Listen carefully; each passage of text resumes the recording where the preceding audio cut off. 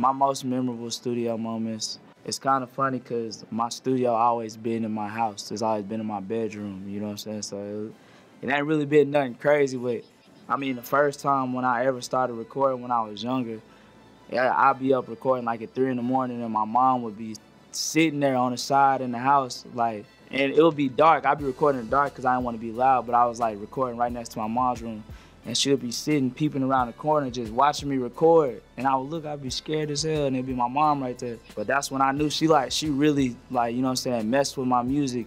When I was young, she never stopped me from recording. She let me record my entire life. It didn't matter how loud I was, I'd be screaming or whatever. My mom would still let me record. But yeah, that that's like the most memorable moment for me was let my mom let me do my music in the house and be loud as hell, even though I had school the next day. But I recorded most of my hits in my room. Like all my big songs, I recorded in my room.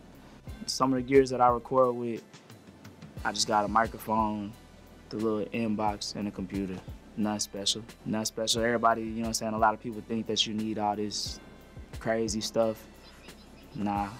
When I record my music, I use Pro Tools, and a microphone, an interface, and just a laptop. Pro Tools for life. I'll never use Logic ever. Uh, I didn't know Nasty Freestyle was gonna be big at all. I just made it just to, I wanted to start taking my career serious and get on the music too. I didn't have no music. I was sitting on my ass trying to figure out how I was doing. I was kind of stressing. I was like, dang, what's the next play I gotta make? And I couldn't figure it out. I was pushing another song, but it wasn't going nowhere. I was spending money on the song. It was getting zero views. So I had Nasty Freestyle out for like a whole month before it even blew up. It was just sitting on YouTube. It had like a thousand views. And then one day I randomly decided to make a dance video to it. And it just took off like a rocket. And after that day, it changed my life.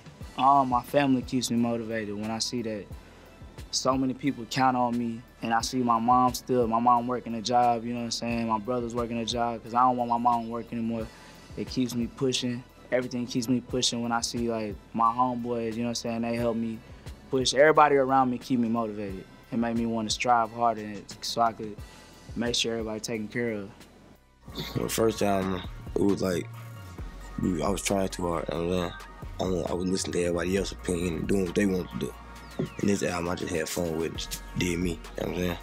That's what make it way, way different. Of course, that's natural. You know what I'm saying? Like that's that was his time. You know what I mean? R.P. Once again.